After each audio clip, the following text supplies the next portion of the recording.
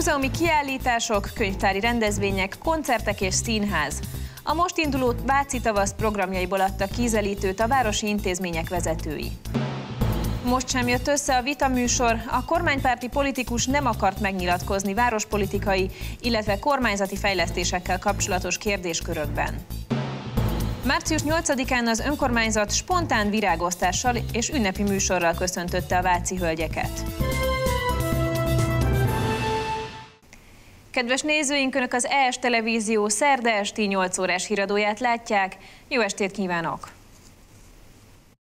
Váci tavasz címmel rajtolt el a város kulturális intézményeinek szezonális programsorozata. A kedden megtartott sajtótájékoztatón a Művelődési Központ, a Színház, a Múzeum, a Sajdik gyűjtemény és a könyvtár vezetői emeltek ki néhány fontosabb eseményt a műfajok színes kavalkádját felvonultató kínálatból, amelyeket idén Mária Terézia születésének 305. évfordulója és egy Petőfi nyomában tett séta tesz különlegessé. Két történelmi alakról is megemlékezünk idén a tavaszi programkínálatban, akik komoly hatást gyakoroltak Vác mindennapjaira, emelte ki Inotai Gergely alpolgármester a sajtótájékoztató elején.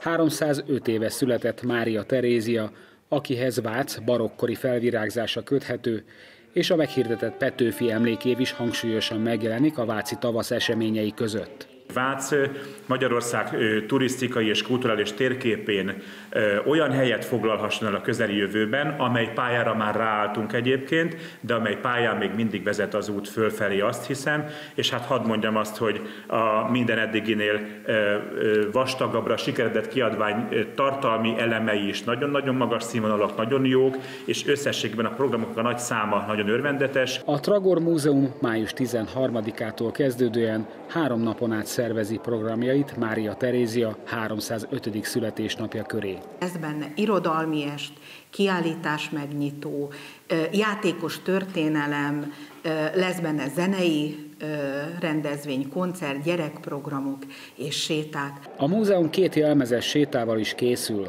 Petőfi nyomában a hozzá köthető váci helyszíneket és történeteket ismerhetnek meg a résztvevők, és a színház közreműködésével találkozhatnak is a költővel, Április 9-én pedig egy idős váci polgárasszonyjal idézik fel a szabadságharc városi mozzanatait. A pandémia miatti kihagyás után újra szervez programokat a városi könyvtár is. Elsőként a gyerekekre gondoltak. 13-án pénteken egész nap, tehát a nyitástól zárásig elsősorban az óvodás és az alsós gyermekeket várjuk. Ő felségeik eljövetelére címmel készültünk erre a rendezvényre, és mi kézműves foglalkozásokat szervezünk a gyermekeknek. Április 12-én a Költészet napja alkalmából nyílt napot hirdet a könyvtár, ahol délután négytől várják azokat, akik egy tea mellett szívesen felolvasnák, vagy akár zenei kísérettel elénekelnék kedvenc versüket. A művelődési központ már a hagyományosnak számított tavaszi fesztivállal várja a vendégeit. Ahogy eddig, most is a műfai sokszínűség jegyében állították össze a programokat, ügyelve arra, hogy minden korosztály találjon kikapcsolódási lehetőséget. Idén fontos szempont volt az is számunkra, hogy a könnyedebb kikapcsolódást ígérő programok mellett egy kicsit komolyabb műfajokat is belecsempészünk a programsorozatba. Így a mottónk is az, hogy megszólít a lélek. Én azt gondolom, hogy aki ellátogat hozzánk a következő két hónapban, az meg fogja élni ezt a kicsit katartikusabb élményt is. A klasszikus zene mellett a fesztivál vendégei lesznek többek között Csúlya Imre, Cutor Zoltán, Zolbert, a Hanivista Panon Várszínház társulata, Bödöcs Tibor, Vecsei H. Miklós és zenésztársai, Szentpéteri Csilla és Gájer Bálint. Fellép a Kolompos zenekar, a Turai Ida színtársulat, Csányi Sándor, és találkozhat a közönség Grecsó Krisztiánnal is. Fellép nálunk majd a Váci Vita Szimfonikus Zenekar több hangversennyel koncertem, az idén 10 éves jubileumát ünneplő Parlandó Színházi Társulat, a Dunakeszi Szimfonikus Zenekar, a Tália Művészeti Egyesület, a Panoráma Együttes és a Leltár zenekar is. A Sajdik gyűjtemény a város legfiatalabb kulturális szintere több generációnak is készül programokkal a Váci tavaszra. Sajdik Ferenc időszaki kiállítása nyílik meg az épületben, az emeleti színházteremben. Ez a Pesti látogatás címet viseli, ez egy munkacím volt és rajta ragadt, de igazából egy sokkal gazdagabb anyagról van szó, már a falakon vannak a képek, karikatúrák, szerelmes állatok Sajdik Ferenc stílusában talán többeknek felvillan még a Ludas Matyiból egy-egy kép, amikor ugye az állatokat ő felruházza emberi tulajdonságokkal. A péntek délutáni megnyitón Sajdik Ferenc személyesen is jelen lesz. Április 1-én retro rajzfilm kivízestet szervez a Sajdik gyűjtemény, ahova három-hat fős csapatok jelentkezését várják Lakatos Ádám játékvezetése mellett. A Pannonia házban új múzeumpedagógiai foglalkozások is indulnak, ahol nem csak az óvodás korosztály figyelmére számítanak, hanem a felnőtteket is várják. A Váci Színházat már maszk nélkül is lehet látogatni, ennek megfelelően válogatták össze a következő hónapok műsorát. Miközben saját produkcióikat már a határon túl is sikerrel játszák, itt Vácon is csupasztárral találkozhat a közönség. Meg lehet nézni majd az Egy őrült naplóját Keresztes Tamással, lehet találkozni Méhes Csabával és a Brass in the Five-val, akik egy nagyon neves fúvós formáció, még Erzsébet királynőnek játszottak 20 éve először, illetve az év legromantikusabb vígjátékának kikiáltott balkonkilátással is látható lesz, ami egy másfél hónapja van egyelőre műsoron Budapesten. Érkezik még a színházba Hernádi Judit, Kern András, Ötvös András, Udvaros Dorottya, Nagy Ervin, Trokán Nóra, Lengyel Tamás, Vince Lilla és László Zsolt, de műsoron marad a korábbi sikerdarab a Dunakanyar című előadás is. A március elejétől május végéig tartó Váci Tavasz rendezvény sorozat programjait tartalmazó kiadvány ingyenesen elérhető a Turinform irodában és a város kulturális intézményeiben. Hétfőtől kezdte meg a Váci önkormányzati cég kertészeti részlege a kettes főút melletti ostorfák metszését. A város legforgalmasabb útján a magyar közútkezelő biztosítja a munkák végzéséhez szükséges forgalmi tereléseket, ugyanis a 10 méteres növények korona alakításához több munkagép is a helyszínre vonul. Az ütemezés szerint jövő hét vége felé végeznek a fák metszésével, addig a munkával érintett szakaszokon forgalomlassításra kell számítani.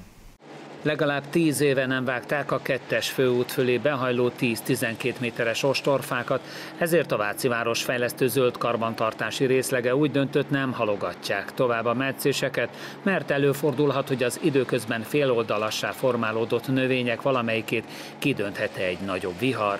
8-10 év óta tulajdonképpen, hogy itt a fasoron végignézünk, csak a házak oldalán történtek vágások. Ebből kifolyólag sajnálatos tény, de ez az igazság, hogy statikailag megbillent a fáknak kb. 40-50 százaléka. Lehet látni, itt most dolgozik mögöttünk a kosaras autó, illetve a, a munkatársaim, a fák jelentős mértékben az úttest felé hajlanak, a korona kb. 60-70 százaléka is az úttest fölött helyezkedik el, a többi pedig fölfelé nő. Az épületek felüli oldala viszont teljes egészében üres. Na most valamiféle balesetveszélyt tudunk ezzel a művelettel elhárítani, illetve a jelentős csúcsszárasság jelentkezett a fákon, a hajtásvégek teljes mértékben el vannak száradva, ezeknek a letisztítása történik most. A metszés, illetve a korona alakítás 219 darab fát érint. A munkákat hétfőn kezdték meg a szakemberek a Földvári tér és a Rákóczi tér közötti szakaszon, és az ütemezés szerint jövő hét vége felé végeznek majd a feladattal. Addig viszont sebességkorlátozásra és terelésre kell számítani a kettes főút belvárosi részein. Az ellenzéki alpolgármester Kis Zsolt eljött arra a vitára, amit a politikai kampány apropójából rendezett meg az ES televízió. A kormánypárti Mokánszki Zoltán viszont azzal hárította a műsorban való részvételt, hogy a tíz éves alpolgármesteri tevékenység alatt nem a megjelenített kérdéskörök tartoztak hozzá. Most a várospolitika témakör volt terítéken a Hírháttér műsorban, amiben többek között a kormány által nyújtott támogatásokról és a városban megvalósuló beruházásokról is lehetett volna vitázni. A jelenlegi alpolgármester itt többek közt arról beszélt, hogy a Fidesz-KDNP kormány nem juttat fejlesztési támogatásokat az ellenzéki önkormányzatoknak, így például Vác sem kapta meg azt a 4 milliárdos támogatást, amit korábban már megítéltek a belváros fejlesztésére. Mert nagyon jelentős fejlesztéseket hozott és jelentett be. Gondolok itt például a Piarista kilátóközpont fejlesztésére, a Dómnak a, a renoválására. A Reménység Egyesület kapott pénzt, most pedig a Bernát Kálmán kap másfél milliárd forintot tornaterem építésre, sportpályaépítésre, iskolafejlesztésre. Miért mondják, hogy miért mondja, hogy nem kap a városfejlesztés, miközben ez, ha ezeket összeadom, legalább 7,5-8 milliárd forintról beszélünk, amióta Rétvári Bence itt az országgyűlési képviselő. Igen, ezek egyházi fejlesztések, ugye egyházi beruházások, mind, tehát amiről most beszélünk, egyház által föntartott intézményekről, létesítményekről van szó, ezek célzott támogatások, ugyanolyanok, mint a sport tekintetében, ugye amikor a stadionokat építik egy-egy egyesületen keresztül, az is ott van egy-egy városban, csak az tisztán látszik, ugye, hogy az egy célt szolgáló létesítmény. Itt ugyanezeket tudom elmondani, de még egyszer mondom, nagyon örülök akár a Reménység Egyesületnek a, a székházának is, én magam is sportolóként egyébként szoktam oda menni, és látom is egyébként, hogy milyen jól működik, működik, itt marad a városban, csak arányaiban mondom azt, hogy egyébként pedig azokra a fejlesztésekre, amelyek ugye az önkormányzatban tisztán kellene, hogy ugye fenntartásban itt például. legyenek, például a művődési házat tudom leginkább ugye kiemelni itt, egy szégyen foltyoma szerintem a városunknak. A negyed kilenckor kezdődő nagyítóban a várospolitikai vitaműsoron kívül az ukrán menekültek Váci fogadásáról is szó esik. Sík Krisztina, a Váci Ukrán Nemzetiségi Önkormányzat elnökével beszélgetünk. Váci közéleti szereplők is adományoztak az ukrán menekülteknek. A testület Fidesz frakciójának tagjai a márciusi képviselői díjukat ajánlották fel humanitárius célokra, az ellenzéki oldalon politizáló Ferjancsics László pedig félmillió forintot adott át a szintén a háború miatt menekülésre kényszerülő családok megsegítése céljából. Manajló András, a Váci Ruszin önkormányzat tagja pedig az egyik képét tette fel a napokban árverésre.